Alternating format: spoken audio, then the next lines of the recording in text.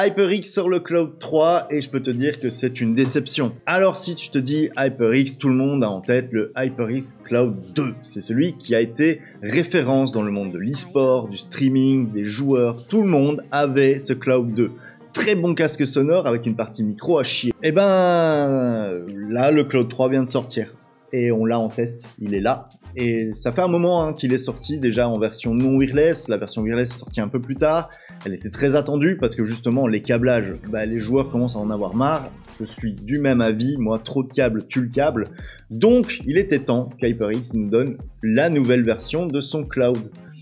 Alors quand je disais que la partie sonore était à chier au niveau du micro, c'est pas totalement vrai, tu t'en doutes bien, elle était bonne mais pas exceptionnelle, dans le sens où ça reste un micro-casque et que les micro-casques n'auront jamais une qualité sonore similaire à un bon vieux micro. Si tu cherches un bon vieux micro, je te renvoie vers la vidéo du Razer CRN V Chroma qui est là, V3. La vidéo est disponible, donc va voir si tu veux un bon micro en complément de ce casque. Alors, pour tester ce casque, j'ai pris en référence mon Epos H3 Pro hybride, qui pour moi est le summum de la qualité sonore. Si tu veux que je te fasse le test du H3 Pro hybride, tu me le dis, je te le ferai. Mais en attendant, on est sur le Cloud 3 qui est le successeur du Cloud 2. Au niveau design, on est sur quelque chose d'ultra similaire. quand tu le vois, tu sais d'office dire que ça, c'est un Cloud c'est un Cloud HyperX, tu le reconnais à cette armature. Il est disponible en deux couleurs d'ailleurs, en noir et en rouge, pour garder la couleur traditionnelle d'HyperX. Ici, je l'ai reçu en noir, que je trouve beaucoup plus classe et beaucoup plus stylé, beaucoup plus discret, surtout avec son, logo bien visible. Mais voilà, je trouve que cette version noire est beaucoup plus belle que la version rouge. Ça reste mon avis. Alors, pour configurer ce casque, il te faudra obligatoirement l'application Ingenuity. Donc oui, encore une application de plus pour un casque. Ça va pas te permettre de configurer grand chose dessus. Les paramètres sonores sont basiques, hein, comme pour tous les trucs de son. Tu peux mettre euh, les, paramètres musicaux de base, etc. T'as pas vraiment de paramètres de jeu. Ce que je trouve vraiment dommage, c'est que c'est un casque gaming et t'as pas de paramètres de jeu préconçus. Euh, et, donc c'est à toi de bidouiller un petit peu pour avoir le son que tu aimes, sachant que si t'as pas une oreille musicale, bah tu vas galérer, tu vas galérer sans nom, euh, je peux te le promettre. Mais voilà, si tu veux par exemple avoir accès au 3D DTS, t'es obligé d'avoir cette application et d'aller cocher la petite case. Ça va rajouter vraiment des effets sonores 3D, c'est très bien en jeu. Pour le reste, quand tu vas regarder un film, des vidéos YouTube, etc., tu vas avoir cet effet d'écho euh, sur Discord, tu vas avoir l'effet de voix écrasée. Donc je te conseille de pas forcément l'activer, c'est ça lui porte pas euh, préjudice hein, d'avoir ce genre d'option, mais c'est utile que en jeu. Et si tu fais du jeu et du vocal, tu, vas vraiment péter les plombs parce que les voix vont être vraiment écrasées, ça va se mixer au son du jeu et tu, vas perdre en qualité. Donc je te conseille pas de l'activer pour le jeu euh, multijoueur en tout cas.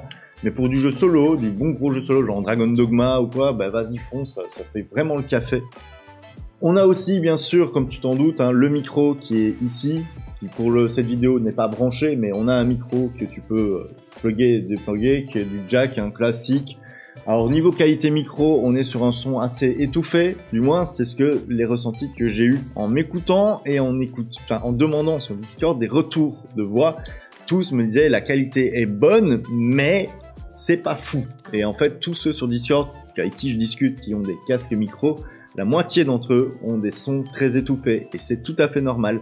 En fait, le genre de micro que vous avez ici essaye déjà de couper, d'atténuer le son et les logiciels comme Discord vont l'atténuer encore plus. Donc, ce qui fait que vous allez vous retrouver dans une sorte de, comme si vous parliez avec un tissu sur la bouche et c'est pas très agréable. Donc, pensez à désactiver les anti-bruits si vous utilisez ce genre de casque.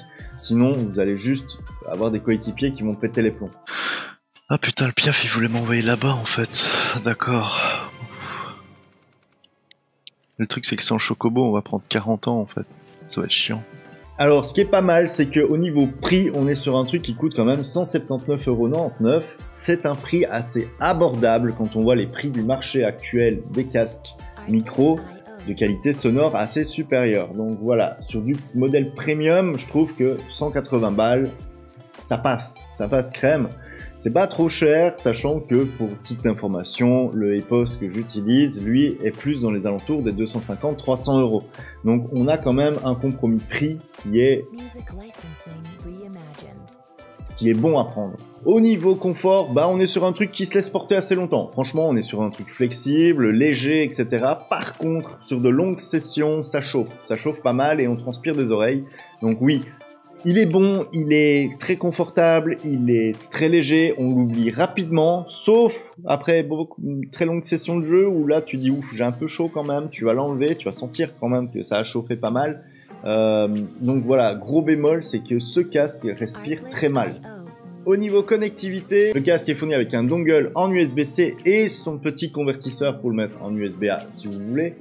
Ça se plug tout seul, ça se connecte tout seul. Vous pluguez, vous allumez le casque, c'est connecté. Il a rien à faire. Et ça, franchement, c'est bien. Gros bémol par contre, c'est que vous ne pouvez pas connecter sans fil votre casque sans le dongle. Du moins, je n'ai jamais réussi à le faire. Euh, donc pour moi, c'est pas possible. Alors peut-être que je me trompe, mais là, alors dites-le moi si il y a une solution. En attendant, moi, je l'ai pas trouvé. Mais en attendant, ça marche. Hein. Tu prends le dongle, tu le mets sur un smartphone, tu le mets sur une tablette, tu le mets sur un PC, tu le mets sur une console, ça fonctionne. Alors oui, le casque est vendu comme un casque PC et compatible uniquement PC, mais c'est faux. En vrai, vous pouvez l'utiliser sur tous les supports que vous voulez. Personnellement, pour regarder des, des films sur ma tablette, ça marche. Ça marche même très bien. Vous pouvez aussi le recharger en USB-C vers USB-A et le connecter en USB-C vers USB-A. Mais par contre, gros bémol, pas de jack sur ce casque pour au cas où la batterie meurt, bah pas de jack. Par contre, niveau autonomie, attendez-vous à un monstre d'autonomie parce que je passe la semaine sans le recharger sans problème, voire même plusieurs semaines euh, en utilisation normale. Sachant que à l'heure actuelle où je vous parle, ça va faire quand même un mois que je l'utilise tous les jours et j'ai peut-être dû le recharger deux fois. Donc finalement, quoi dire de plus sur ce casque à part que bah oui, le Cloud 2 a trouvé son remplaçant. Hein, voilà, on a un modèle qui est quand même beaucoup plus confortable, beaucoup plus premium que le Cloud 2, mais qui reste toujours, pour moi, améliorable. Dans le sens où la partie audio du micro est pour moi le plus gros bémol de ce casque, mais pour le reste, comme tu peux le voir, c'est le casque que j'utilise tout le temps et j'en suis même plutôt content. La qualité son qui te sort dans les oreilles est vraiment ultra quali. Le seul problème que j'ai avec, c'est sa chauffe, la chauffe d'oreille qui au long, au long terme pose problème.